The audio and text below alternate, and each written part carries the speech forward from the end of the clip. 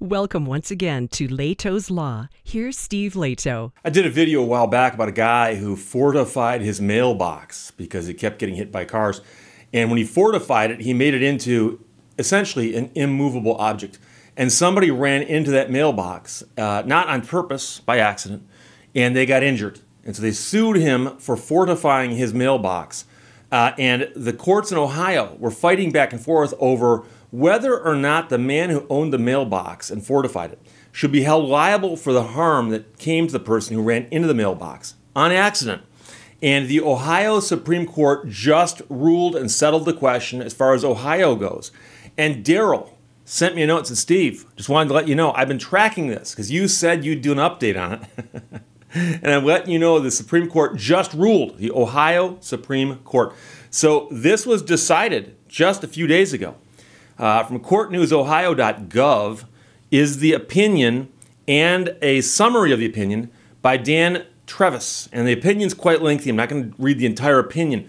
But the fortified mailbox owners are not responsible for the driver's paralyzing injuries. So they've decided, the Supreme Court of Ohio has, that the Huron County couple is not liable for the severe injuries suffered by the motorist whose truck slid off a road and struck the couple's heavily fortified mailbox. And the heavily fortified mailbox is part of the story. It's extremely important because many people know that you put a mailbox by the side of the road, it could get hit by a car. It could also get vandalized by teenagers. So the question is, how heavy duty can you make your mailbox? And two things. I mentioned before, I lived for a while in a house that had a big mailbox, this monstrosity built out of brick and cement at the end of my driveway. And it was there when I moved in and it started to tip and it looked horrible. It looked horrible. One day I called up my brother and said, Guys, bring over sledgehammers. We're having a sledgehammer party. Uh, very similar to a chainsaw party, but with cement. And we busted up this mailbox and threw it away. And then we installed a smaller box on a pole. And I thought it looked much better, but also it just wasn't leaning like the leaning tower of Lehto at the end of my driveway. So that's one thing that those mailboxes, if you ran into that thing at the end of my driveway before I took it down, that would damage your car, wouldn't damage mailbox. But people also said, Steve, if you're liable for damages because of your mailbox, why aren't you liable for damages from trees? You have a tree by the side of the road. Shouldn't you, you know? So there's a bunch of arguments that go here, but don't worry. The Ohio State Supreme Court has said that the mailbox owner is in the clear on this. Now, the Supreme Court said that the facts of the case are undisputably tragic, which is often the case, and they ruled five to two. So there's two dissenters that the landowners owe no duty to protect motorists who leave the regularly traveled portion of the road and strike an object in the right of way. So this mailbox is in the right of way.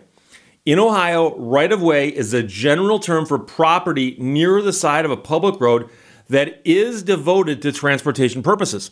So the shoulder of the road is part of the right of way.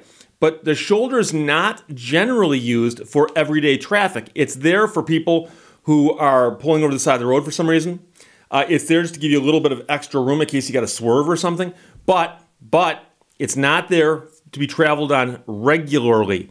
Writing for the majority of the court, the Chief Justice stated that the court has repeatedly ruled that political subdivisions, landowners, and others owe a duty of care to drivers if they create hazards that affect the safety of ordinary travel on the road.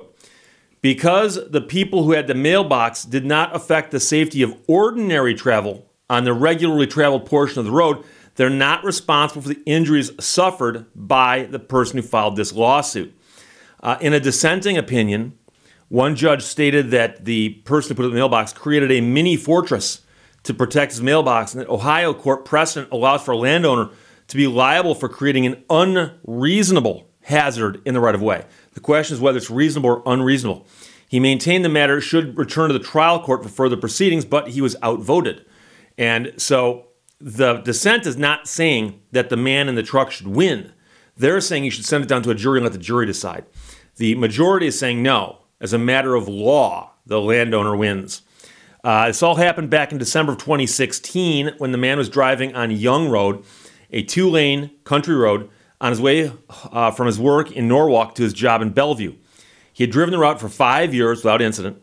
That afternoon was sunny and clear, but the road was wet and icy with patches of black ice. Uh, the man hit a patch of ice and did not remember what happened after that. The Ohio um, Highway Patrol trooper responded to a call of a vehicle crash and located the man trapped in his pickup truck off the side of the road.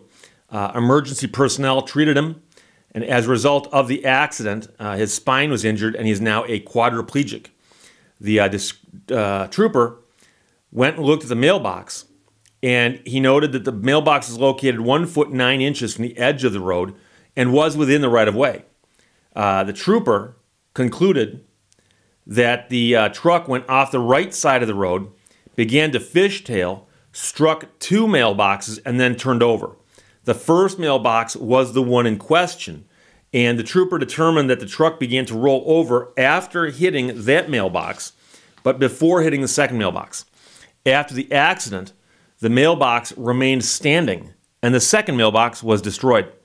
Now, in case you're curious about what's going on here, the man who installed the mailbox did so in 1996 after his previous mailbox had been broken by repeated instances of vandalism. Before installing the mailbox, he obtained U.S. Postal Service guidelines from his local post office on how to install a rural mailbox. And the guidelines are clear.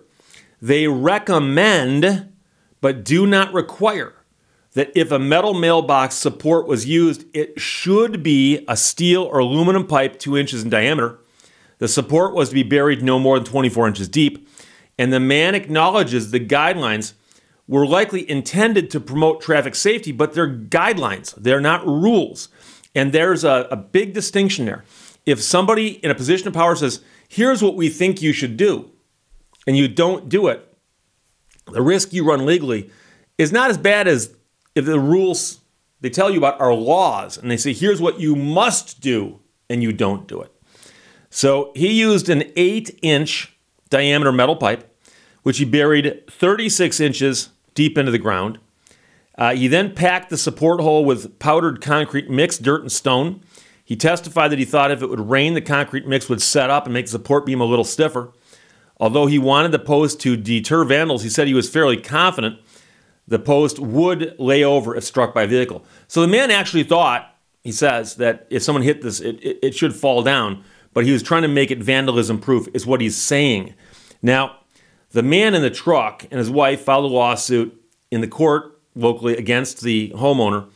And while the trooper had not determined that the mailbox caused the truck to flip, an accident reconstructionist hired by the plaintiffs concluded that the unyielding heavy metal pipe mailbox support caused the truck to overturn and led to the man's injuries. So, again, remember that the post office recommends a two inch pipe, no more than 24 inches, and he used an eight inch pipe, 36 inches into the ground. So the uh, homeowner filed for summary judgment from the trial court, arguing that the plaintiff's failure to control his own vehicle on the regularly traveled portion of the road was the sole cause of his injuries. The trial court sided with the defendants, finding Ohio law does not hold landowners legally responsible for protecting motorists who lose control of their vehicles and leave the ordinary traveled portion of the road. The uh, plaintiffs appealed to the 6th District Court of Appeals. And again, this is in the Ohio state courts, which in a split decision affirmed the lower court's ruling. And the couple appealed to the Supreme Court, which agreed to review the case. So the uh, Chief Justice explained that when the plaintiffs sued the homeowners for negligence, they were required to uh, prove the existence of a legal duty. And I've talked before about this. Negligence is a very, very broad term. But basically, you've got to prove that someone owed you a duty and they breached that duty and it harmed you. And so, the most common duty we talk about is the duty to drive your vehicle with due care. So, if you're driving around recklessly and you cause an accident, someone can sue you for negligence, auto negligence. You weren't operating your vehicle with due care and you breached your duty that you owe to other drivers on the roadway to do that. So the question is what's the legal duty owed by the landowner to someone driving a vehicle? Plaintiffs were required to prove the existence of a legal duty that the landowners breached that duty and that the injuries suffered by the plaintiff was the result of that duty being breached. A duty to exercise ordinary care depends on the relationship between the parties And in general, people are expected to use reasonable precautions against the risks that a reasonably prudent person would anticipate. So, to determine whether the landowners owed a duty to the truck driver, the court looked to its precedent regarding the duties owed to motorists by adjacent landowners or occupiers of adjacent land, whether they are subdivisions of you know political subdivisions, utility companies, or private persons. The opinion cited a 1982 case uh, which involved a fatal auto accident occurred at a rural intersection where corn growing in the right of way obstructed a motorist's vision of cross traffic at a two way stop. The plaintiffs sued the township where the intersection was located and the grower of the corn. The township was accused of creating a nuisance by allowing corn grown in the right of way to obstruct the view of motorists. The court found the township had a duty to keep the right of way free from conditions that directly jeopardize the safety of traffic on the highway. That's a permanent obstruction, of course, which renders portions of the highway unsafe for the usual ordinary course of travel, and that can be a nuisance for which the township could be held liable, at least while the corn's over a certain height. I'll grant you that. Regarding the corn grower, the court found growing crops in the right of way served no highway purpose, and if the use of the right of way was inconsistent with highway purposes and created an unreasonable hazard to users of the highway, the corn grower could be held liable. Now, of course, that is what the plaintiffs are arguing here is that the mailbox is like corn, right, in that situation. So the court majority disagreed. In the opinion, they state that the uh, case and subsequent cases create a duty to motorists only for hazards that affect travel on the regularly traveled portion of the road. The right of way is not a regularly traveled portion of the road, and the mailbox owned by the defendants did not affect ordinary travel on the regularly traveled portion of the road.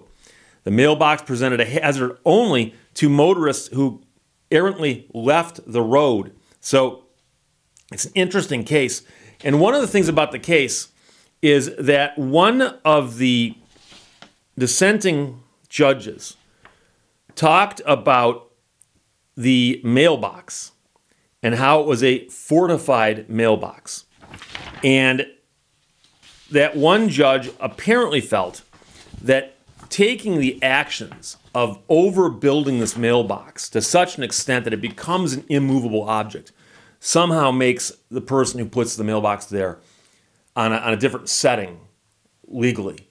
And of course, the majority disagreed with that. But you start asking yourself questions then, like, okay, so what if I were to put something by the side of the road that we know for a fact would cause the car to stop instantly upon impact? Uh, but then you get back to this issue of what about if it's a tree? Trees grow near the road all the time. And when I drove a tow truck, I can tell you that more than once I pulled cars off of trees, meaning that there's a tree and a car that's wrapped around it. And I got to yank the car back and get the car away from the tree to tow it. And so those things happen. So uh, many people, I, if I had to guess what the, if it was a vote, which way the commenters were going on that video, a vast majority of them are saying, you know something, I don't see any difference between this mailbox and a tree. If I'm not liable for the tree, I'm not liable for the mailbox. And so the Ohio State Supreme Court agrees with you if you are among those people. So, Daryl, thanks for following up on this. Um, I probably would have spotted this in a day or two. you saved me some time. Appreciate that. But from courtnewsohio.gov, the case was just decided a few days ago. And Dan Trevas wrote this summary Fortified mailbox owners not responsible for pickup drivers' paralyzing injuries questions, comments, put them below. Let's talk to you later. Bye bye. Thank you for watching Lehto's Law.